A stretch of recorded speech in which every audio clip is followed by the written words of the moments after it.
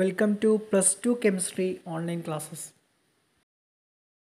നമ്മൾ ഡിസ്കസ് ചെയ്യുന്നത് plus two കെമിസ്ട്രിയിലെ ഒന്നാമത്തെ ചാപ്റ്റർ ആയിട്ടുള്ള സോളിഡ് സ്റ്റേറ്റ് ആണ്. മാറ്റർ നമുക്ക് മെയിൻലി മൂന്നായിട്ട് ക്ലാസിഫൈ ചെയ്യാം. സോളിഡ് ലിക്വിഡ് ഗ്യാസ് മാറ്റർ നമുക്ക് ഏഴോ എട്ടോ ആയിട്ട് ക്ലാസിഫൈ ചെയ്യാം. പക്ഷേ നമ്മൾ മെയിൻലി മൂന്നായിട്ടാണ് ക്ലാസിഫൈ ചെയ്യുക അതിൽ ഏറ്റവും പ്രധാനപ്പെട്ട സ്റ്റേറ്റ് ആണ് solid state what are the general characteristics of solid state എന്താണ് സോളിഡ് സ്റ്റേറ്റിന്റെ ജനറൽ ക്യാരക്ടറിസ്റ്റിക്സ് പ്രത്യേകത എന്തൊക്കെയാണ് ഖരാവസ്ഥയുടെ? ഖരം ദ്രാവകം വാതകം എന്നിവയുടെ സവിശേഷതകൾ നിങ്ങൾ ലോവർ ക്ലാസ്സിൽ പഠിച്ചിട്ടുള്ളതാണ്. എന്തൊക്കെയായിരിക്കാം സോളിഡ് സ്റ്റേറ്റിന്റെ പ്രത്യേകതകൾ? The main characteristics of solid states are first one they have definite mass volume and shape solid state സബ്സ്റ്റൻസിന് definite ആയിട്ടുള്ള മാസ് വോളിയം ഷേപ്പ് എന്നിവ ഉണ്ടാവും. മാസ് ഡെഫിനിറ്റ് ആയിരിക്കും വോളിയം നമ്മൾ കൃത്യമായ വോളിയം പറയാൻ പറ്റും. ഷേപ്പ് ഷേപ്പ് ഉണ്ടാവും സബ്സ്റ്റൻസിന് രണ്ടാമത്തത് intermolecular distance are short in solid state the intermolecular distance are short solid സ്റ്റേറ്റിൽ ഇന്റർമോളിക്കുലാർ ഡിസ്റ്റൻസ് രണ്ട് ആറ്റംസ് തമ്മിലുള്ള അല്ലെങ്കിൽ രണ്ട് ഇന്റർ ആറ്റംസ് തമ്മിലുള്ള ഇന്റർ അയോൺസ് തമ്മിലുള്ള ഡിസ്റ്റൻസ് വളരെ ഷോർട്ടായിരിക്കും മൂന്നാമത്തെ intermolecular forces are strong intermolecular forces രണ്ട് ഇന്റർമോളിക്കുലേഴ്സ് തമ്മിലുള്ള ആറ്റംസ് തമ്മിലുള്ള മോളിക്കുലാർ അട്രാക്റ്റീവ് ഫോഴ്സ് വളരെ സ്ട്രോങ് ആയിരിക്കും. വളരെ അട്രാക്റ്റീവ് ആയിരിക്കും. Their constituent particles atoms molecules or ions have fixed positions and can only oscillate about their mean positions solid സ്റ്റേറ്റിൽ അവയുടെ inter atomic പാർട്ടിക്കിൾസിന് അല്ലെങ്കിൽ കോൺസ്റ്റന്റ് പാർട്ടിക്കിൾസിന് ആറ്റംസോ മൊളിക്യൂൾസോ അയോൺസിനൊക്കെ ഫിക്സഡ് പൊസിഷൻസ് ആണ് ഉണ്ടാവുക. അപ്പോൾ അവർക്ക് അവരുടെ മീൻ പൊസിഷനിൽ നിന്ന് ഓസിലേറ്റ് ചെയ്യാൻ മാത്രമേ സാധിക്കുകയുള്ളൂ. മീൻ പൊസിഷൻ ഓസിലേറ്റ് ചെയ്യാൻ മാത്രമേ സാധിക്കുകയുള്ളൂ. കാരണം അവിടെ ഫിക്സഡ് പൊസിഷൻ ആയിരിക്കും. ലാസ്റ്റായിട്ട് they have incompressible and rigid solid substance are rigid നമുക്കറിയാം സോളിഡ് സബ്സ്റ്റൻസ് ഒക്കെ അതുപോലെ ഇൻകംപ്രസിബിൾ ആയിരിക്കും. സോളിഡ് സ്റ്റേറ്റ്സിനെ കംപ്രസ് ചെയ്താൽ നമുക്ക് മറ്റൊരു സ്റ്റേറ്റിലേക്ക് കൺവേർട്ട് ചെയ്യാൻ കഴിയില്ല. ഇത്രയാണ് സോളിഡ് സ്റ്റേറ്റിന്റെ general properties they have definite mass volume and shape intermolecular distance are short and the intermolecular forces are strong their constituent particles have fixed positions. And last one they are incompressible and rigid. Solids നമുക്ക് mainly രണ്ടായിട്ട് classify ചെയ്യാം. Crystalline solids and amorphous solids ഇതിൽ crystalline സോളിഡ്സിനെ മാത്രമേ നമ്മൾ എന്ത് ചെയ്യുള്ളൂ? Solid substance ആയിട്ട് കണക്കാക്കുകയുള്ളൂ. അമോർഫസ് സോളിഡ്സ് നമ്മൾ സ്യൂഡോ സോളിഡ്സ് സോളിഡ് സബ്സ്റ്റൻസ് അല്ലാത്ത എന്നാൽ സോളിഡായിട്ട് അപ്പിയർ ചെയ്യുന്ന സബ്സ്റ്റൻസ് ആയിട്ടാണ് കണക്കാക്കുക. Crystallines and amorphous solids crystalline സോളിഡും amorphous സോളിഡ്സും തമ്മിൽ ഒരുപാട് ഡിഫറൻസ് ഉണ്ട്. ക്രിസ്റ്റലൈൻ സോളിഡ്സും അമോർഫസ് സോളിഡ്സും തമ്മിൽ ഡിഫറൻസ് നമുക്ക് നോക്കാം. First one shape crystalline solids have definite characteristical shape കൃത്യമായ ഒരു ഷേപ്പ് ആർക്കുണ്ടാവും? ക്രിസ്റ്റലൈൻ സോളിഡ്സിനുണ്ടാവും. ഇനി amorphous solids they have irregular shape amorphous സോളിഡ്സിന് shape ഉണ്ടാവില്ല. ഇതാണ് പ്രധാനപ്പെട്ട ഡിഫറൻസ് ക്രിസ്റ്റലൈൻ സോളിഡ്സിന് ഡെഫിനിറ്റ് ജോമെട്രിക്കൽ ഷേപ്പ് ഉണ്ടാവും. എന്നാൽ അമോർഫസ് സോളിഡ്സിന് ഇറഗുലർ ഷേപ്പാണ് ഉണ്ടാവുക. ഷേപ്പ് ഉണ്ടാവില്ല. Second one melting point crystalline solids melt at sharp temperature കൃത്യമായ ടെമ്പറേച്ചറിൽ ആദ്യം മെൽറ്റ് ചെയ്യും ഉരുകും ക്രിസ്റ്റലൈൻ സോളിഡ്സ് എന്നാൽ amorphous solids gradually and over a range of temperature ഒരു കൃത്യമായ റേഞ്ച് പറയാൻ പറ്റില്ല. ഒരു റേഞ്ച് ഓഫ് ടെമ്പറേച്ചറിൽ മാത്രമേ ആരും മെൽറ്റ് ചെയ്യുള്ളൂ amorphous solids then we can cut with sharp edge tool we can cut the crystalline solid with sharp edged tool. We can cut into two pieces. Cleavage property എന്ന് പറയും. നമുക്ക് വളരെ കൃത്യമായിട്ട് cut ചെയ്യാൻ പറ്റും. While amorphous solids when cut with a sharp edge tool they cut into two pieces with irregular surface നമുക്ക് കൃത്യമായിട്ട് എന്ത് ചെയ്യാൻ പറ്റില്ല? കട്ട് ചെയ്യാൻ പറ്റില്ല. ഇറഗുലർ സർഫസ് ആയിട്ടേ കട്ട് ചെയ്യാൻ പറ്റുള്ളൂ. കൃത്യമായ രണ്ട് പീസാക്കാൻ എന്തിനെ പറ്റില്ല? അമോർഫസ് സോളിനെ പറ്റില്ല. Then heat of fusion crystalline solids have definite and characteristic heat of fusion വളരെ കൃത്യമായ ഒരു ക്യാരക്ടറിസ്റ്റിക് ഹീറ്റ് ഓഫ് ഫ്യൂഷൻ ആർക്കുണ്ടാവും? ക്രിസ്റ്റലൈൻ സോളിഡ്സിന് ഉണ്ടാവും എന്നാൽ amorphous solids do not have definite heat of fusion ഒരു ഡെഫിനിറ്റ് ഹീറ്റ് ഓഫ് ഫ്യൂഷൻ ആർക്കുണ്ടാവില്ല amorphous സോളിഡ്സിന് ഉണ്ടാവില്ല then anisotropy crystalline solids anisotropic ആയിരിക്കും. ഇത് വളരെ പ്രധാനപ്പെട്ട അനൈസോട്രോപ്പി എന്ന് പറഞ്ഞാൽ നമുക്ക് ഒരു സോളിഡ് സബ്സ്റ്റൻസിനെ നമ്മൾ ഏത് റേഞ്ചിൽ നിന്ന് കട്ട് ചെയ്താലും അല്ലെങ്കിൽ ഏത് റേഞ്ചിൽ നിന്ന് മെഷർ ചെയ്താലും different values measurement different values കിട്ടുക. ഇപ്പോൾ റിഫ്രാക്റ്റീവ് ഇൻഡെക്സ് പോലത്തെ പ്രോപ്പർട്ടീസിന് ഡിഫറെന്റ് വാല്യൂസ് കിട്ടുക. നമ്മൾ അനൈസോട്രോപ്പി എന്ന് പറയാം.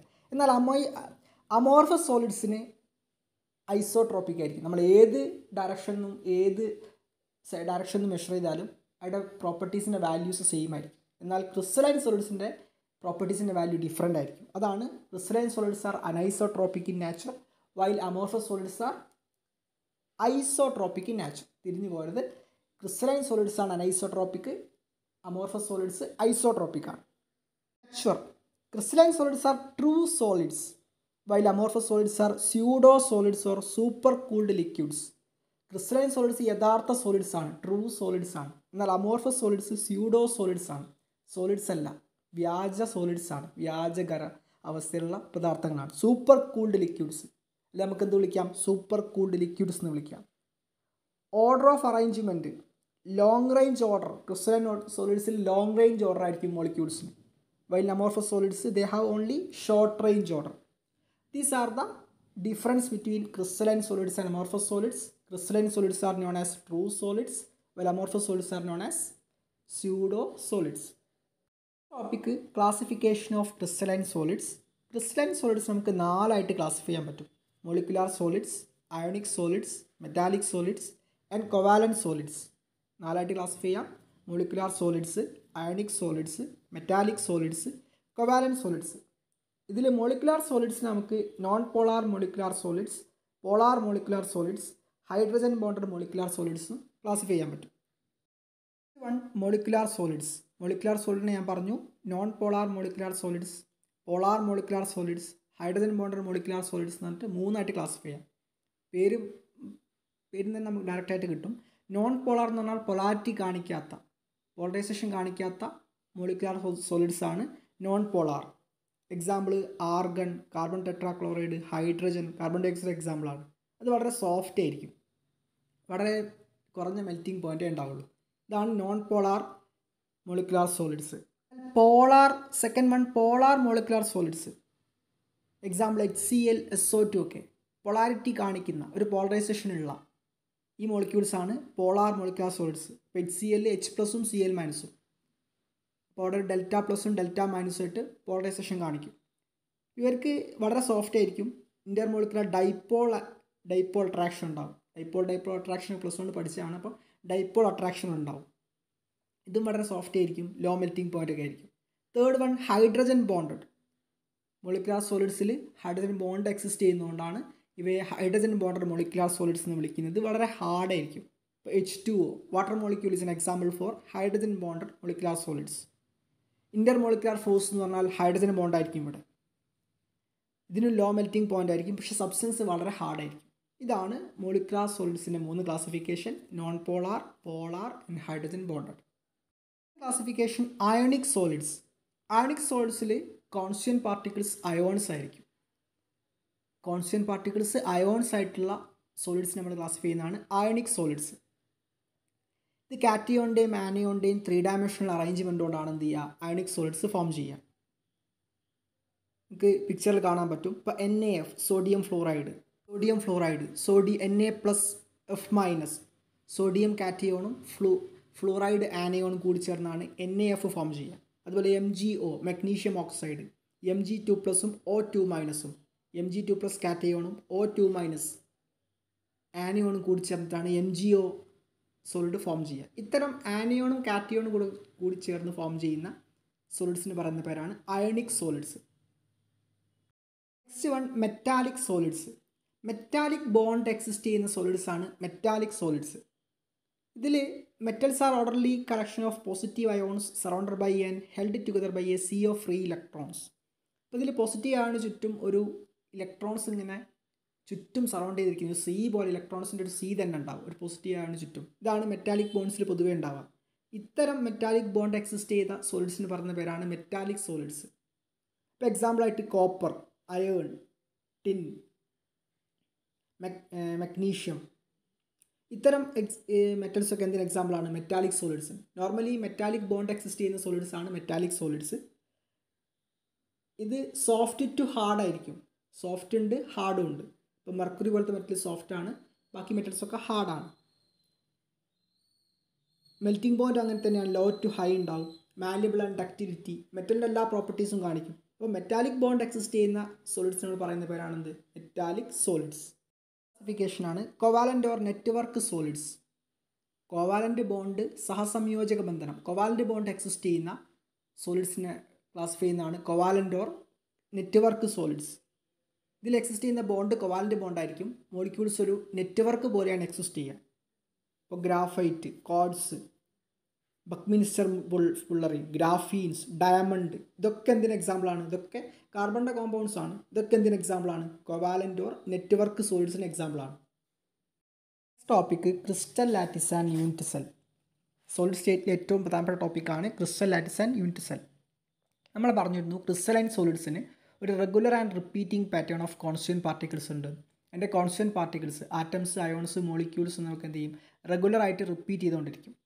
അപ്പോൾ നമ്മൾ മോളിക്യൂളിനെ ത്രീ ഡയമെൻഷനിലാണ് അറേഞ്ച് ചെയ്യുക ത്രീ ഡയമെൻഷനിലാണ് എന്ത് ചെയ്യുക നമ്മൾ ഇതിനെ കാണിക്കുകയും ചെയ്യുക ഡ്രോ ചെയ്ത് കാണിക്കുകയും ചെയ്യുക അപ്പോൾ ത്രീ ഡി അറേഞ്ച്മെന്റ് നമ്മൾ ഉപയോഗിക്കുക. മോളിക്യൂൾസിനെ പോയിന്റ്സ് ആയിട്ടാണ് യൂസ് ചെയ്യുക പോയിന്റ്സ് അപ്പോൾ the regular three dimensional arrangement of points in space is called crystal lattice regular three dimensional arrangement of points in space is called crystal lattice ഇങ്ങനെ മോളിക്യൂൾസിനെ points ആയിട്ട് arrange ചെയ്യുന്നുണ്ട്. ഈ പോയിന്റ്സിന്റെ റെഗുലർ ആയിട്ടുള്ള ത്രീ ഡയമെൻഷണൽ അറേഞ്ച്മെന്റ് പറയുന്ന പേരാണ് crystal lattice ഇങ്ങനെ നമുക്ക് ഒരുപാട് പോസിബിലിറ്റീസ് ഉണ്ട് ക്രിസ്റ്റൽ ലാറ്റിസിന് പതിനാല് പോസിബിൾ ത്രീ ഡയമെൻഷണൽ ലാറ്റിസുകളുണ്ട് ഇത് നമ്മൾ ബ്രാവിയസ് ലാറ്റിസ് എന്ന് പറയും. ഒരു ഫ്രഞ്ച് മാത്തമെറ്റീഷ്യനാണ് ഇയാളാണ് ഇത്രയും പോസിബിലിറ്റീസ് ഉണ്ടെന്ന് കണ്ടുപിടിച്ചത്. അതുകൊണ്ടാണ് ബ്രാവിയസ് ലാറ്റിസ് എന്ന് പറയുന്നത്.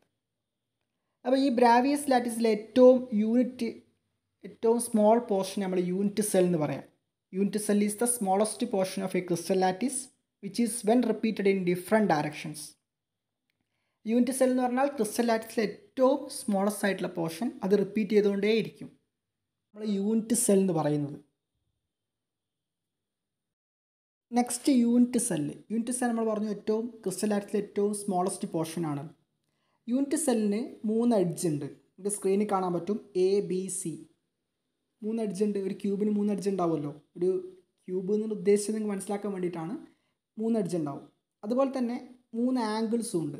ആൽഫ ബീറ്റ ഗാമ എന്ന് നിങ്ങൾക്ക് സ്ക്രീനിൽ കാണാൻ പറ്റും. എയുടെയും ബിയുടെയും ഇടയിലുള്ള ആംഗിൾ എയുടെയും ബിയുടെയും ഇടയിലുള്ള ആംഗിളാണ് ഗാമ അതുപോലെ തന്നെ ബിയുടെയും സിയുടെയും ഇടയിലുള്ള ആംഗിളാണ് ആൽഫ എയുടെയും സിയുടെയും ഇടയിലുള്ള ആംഗിളാണ് ബീറ്റ അങ്ങനെ മൂന്ന് ആംഗിൾസ് ഉണ്ടാവും. അതുപോലെ തന്നെ മൂന്ന് സൈഡ്സും ഉണ്ടാവും.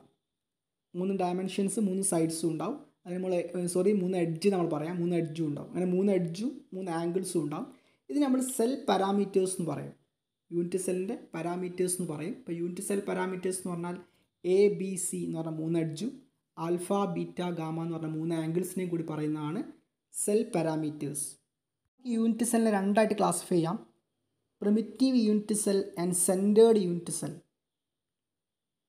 unit സെല്ലിലെ പാർട്ടിക്കിൾസിൽ യൂണിറ്റ് സെല്ലിന്റെ കോർണേഴ്സിൽ മാത്രമേ ഉള്ളൂ എങ്കിൽ നമ്മൾ പറയുന്ന പേരാണ് പ്രിമിറ്റീവ് യൂണിറ്റ് സെൽ. ക്യൂബിന്റെ കോർണേഴ്സിൽ മാത്രം പാർട്ടിക്കിൾസ് ഇമാജിൻ ചെയ്യുക. അത്തരം യൂണിറ്റ് സെല്ലിന് പറയുന്ന പേരാണ് പ്രിമിറ്റീവ് യൂണിറ്റ് സെൽ. ഇനി രണ്ടാമത്തത് സെന്റേർഡ് യൂണിറ്റ് സെൽ. കോർണേഴ്സ് കൂടാതെ ബോഡിയുടെ സെന്ററിൽ അതാണ് സെന്റ് വരുന്ന പോസിബിലിറ്റിയാണ് സെന്റേർഡ് യൂണിറ്റ് യൂണിറ്റ് സെൽ നമുക്ക് മൂന്നായിട്ട് ക്ലാസിഫൈ ചെയ്യാം. Body centred unit cell face centred unit cell end centred unit cell. ഇതിൽ ബോഡി സെന്റേർഡ് എന്ന് പറഞ്ഞാൽ ഓരോ കോർണറിൽ ഓരോ പാർട്ടിക്കിൾസ് ഉണ്ടാവും. അതുകൂടാതെ ബോഡീന്റെ സെന്ററിൽ ഒരു പാർട്ടിക്കിൾ ഈ സ്ക്രീനിൽ കാണാൻ പറ്റും. അതാണ് ബോഡി സെന്റേർഡ് നമ്മൾ ബി സി സി എന്ന് പറയും. രണ്ടാമത്തത് ഫേസ് സെന്റേർഡ് ഓരോ കോർണറിൽ ഒരു പാർട്ടിക്കിൾ ഉണ്ടാവും. കൂടാതെ ഓരോ കോർ ഓരോ ഫേസിന്റെ സെന്ററിലും ഫേസ് സെന്റേർഡ് പാർട്ടിക്കിൾസ് ഉണ്ടാവും. ക്യൂബിന്റെ ഓരോ ഫേസിന്റെ സെന്ററിലും പാർട്ടിക്കിൾസ് കൂടാതെ ഓരോ കോർണറിലും പാർട്ടിക്കിൾസ് ഇത് നമ്മൾ ഫേസ് സെന്റേർഡ് അഥവാ എഫ് സി സി എന്ന് പറയാം. മൂന്നാമത്തത് എൻ സെന്റേർഡ് ഇതിൽ കോർണറിൽ കൂടാതെ എൻഡിൽ ഓപ്പോസിറ്റ് ഫേസിൽ പാർട്ടിക്കിൾസ് വരിക. ഓപ്പോസിറ്റ് ഫേസിൽ വരുന്ന നമ്മൾ എൻ സെന്റുകൾ എന്ന് പറയാം. ഇങ്ങനെ നമുക്ക് യൂണിറ്റ് സെല്ലിനെ നമുക്ക് രണ്ടായിട്ട് ക്ലാസിഫൈ ചെയ്യാം. പ്രിമിറ്റീവ് ആൻഡ് സെന്റേർഡ് അതുപോലെ തന്നെ സെന്റേർഡ് നമുക്ക് പിന്നെയും മൂന്നായിട്ട് ക്ലാസിഫൈ ചെയ്യാം. Body centred face centred and end centred നമുക്ക് സ്ക്രീനിൽ കാണാൻ പറ്റും. വളരെ ക്ലിയർ ആയിട്ട് നമുക്ക് കാണാൻ പറ്റും. ഇത് ക്യൂബ് അസ്യൂം ചെയ്താൽ ഇമാജിൻ ചെയ്താൽ നമുക്ക് വളരെ ഈസി ആയിട്ട് മനസ്സിലാവും. ആ പിക്ചർ ഞാൻ കൊടുത്തിട്ടുണ്ട്. Topic seven crystal systems seven crystal systems നമുക്ക് യൂണിറ്റ് സെല്ലിന്റെ seven type of unit cells നമ്മൾ സെവൻ ക്രിസ്റ്റൽ സിസ്റ്റംസ് എന്ന് പറയാം.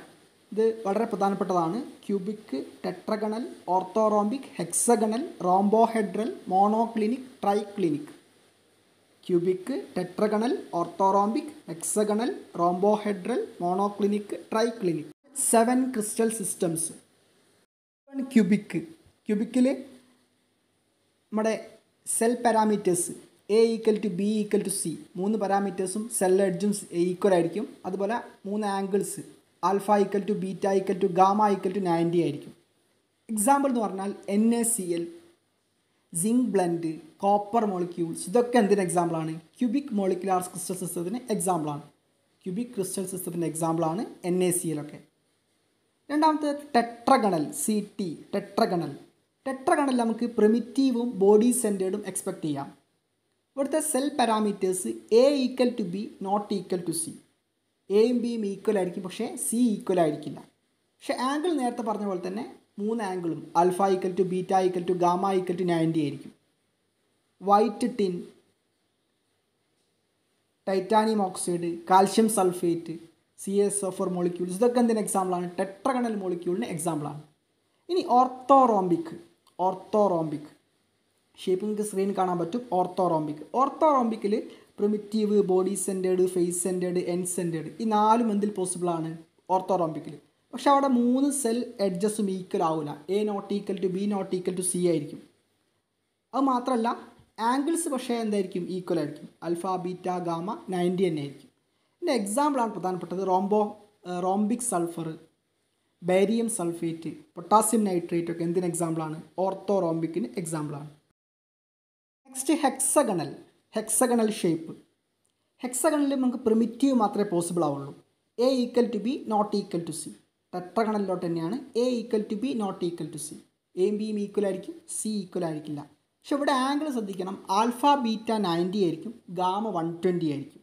എക്സാമ്പിൾ നമ്മുടെ ഗ്രാഫൈറ്റ് സിങ്ക് ഓക്സൈഡ് ഒക്കെയാണ് എക്സാമ്പിൾസ് ഇനി അടുത്തത് rhombohedral or tri trigonal molecule rhombohedral or trigonal molecule റോംബോ ഹെഡ്രലിന് നമുക്ക് പ്രിമിറ്റീവ് സിമ്പിൾ ക്യൂബിക്ക് മാത്രമേ പോസിബിൾ ആവുള്ളൂ. ഇതിൽ മൂന്നും A equal to B equal to C മൂന്ന് സെൽ എഡ്ജും ഈക്വൽ ആയിരിക്കും. Angle A equal to alpha equal to beta equal to gamma not equal to ninety മൂന്ന് ആംഗിളും നയന്റിക്ക് ഈക്വൽ ആവില്ല. നോട്ട് ഈക്വൽ ടു നയന്റി അതാണ് ആംഗിളിന്റെ കേസ് ഇതിന്റെ എക്സാമ്പിൾ എന്ന് പറഞ്ഞാൽ mercuric sulphide H G S നമ്മൾ സിന്നബാർ എന്ന് പറയും. Calcite molecules C S E O three ഈ മോളിക്യൂൾസ് ഒക്കെ എക്സാമ്പിളാണ് റോംബോ ഹൈഡ്രൽ മോളിക്യൂൾസിന് എക്സാമ്പിളാണ് ഇനി മോണോക്ലിനിക് നെക്സ്റ്റ് മോണോക്ലിനിക് ആണ് പ്രിമിറ്റീവ് ക്രിസ്റ്റൽ സിസ്റ്റം ഇതിൽ മോണോക്ലിനിക്കിൽ പ്രിമിറ്റീവും എൻ സെന്റേർഡ് നമുക്ക് പോസിബിളാണ് അവിടെ A not equal to B not equal to C മൂന്ന് സെൽ എഡ്ജും ഈക്വൽ ആവില്ല ആംഗിൾ ആൽഫ ഗാമ നയന്റി ആയിരിക്കും beta not equal to ninety അതാണ് വരിക. മോണോക്ലിനിക് സൾഫർ സൾഫർ രണ്ട് വേരിയേഷൻ ഉണ്ട്. മോണോക്ലിനിക്കും റോംബിക് സൾഫറും ഉണ്ട്. അതിൽ monoclinic sulphur N A two S O four ഒക്കെ എക്സാമ്പിളാണ് അതുപോലെ തന്നെ last one triclinic triclinic molecule നമുക്ക് പ്രിമിറ്റീവ് ക്യൂബിക് സിസ്റ്റം മാത്രമേ പോസിബിൾ ആവുള്ളൂ. ഇതിലും അതുപോലെ സെൽ എഡ്ജ് ഈക്വൽ ആവില്ല. A not equal to B not equal to C തന്നെയാണ് വരിക. Alpha not equal to beta not equal to gamma not equal to ninety മൂന്ന് ആംഗിളും നയന്റിക്ക് ഈക്വൽ ആവില്ല potassium dichromate copper sulphate molecules ഒക്കെ എന്തിന് എക്സാമ്പിളാണ് H three B O three ഒക്കെ എന്തിന് എക്സാമ്പിളാണ് ട്രൈക്ലിനിക് മോളിക്യൂൾസിന് എക്സാമ്പിളാണ് ക്രിസ്റ്റൽ സിസ്റ്റംസ് ആണ്. പറഞ്ഞിരുന്നത്. Cubic tetragonal orthorhombic hexagonal rhombohedral monoclinic triclinic നമ്മൾ C T O H M T എന്നുള്ള കോഡ് ഉപയോഗിച്ച് അത് പഠിക്കുക. സി എന്ന് പറഞ്ഞാൽ ക്യൂബിക് ആണ്. ടി എന്ന് പറഞ്ഞാൽ ടെട്രഗണലാണ് ഒ എന്ന് പറഞ്ഞാൽ ഓർത്തോറോംബിക് ആണ്. ആർ എന്ന് പറഞ്ഞാൽ rhombohedral then H hexagonal M monoclinic T triclinic ഇതോടെ നമ്മുടെ വീഡിയോ ക്ലാസ് അവസാനിക്കുകയാണ്. ബാക്കി നമുക്ക് നെക്സ്റ്റ് വീഡിയോയിൽ ഡിസ്കസ് ചെയ്യാം.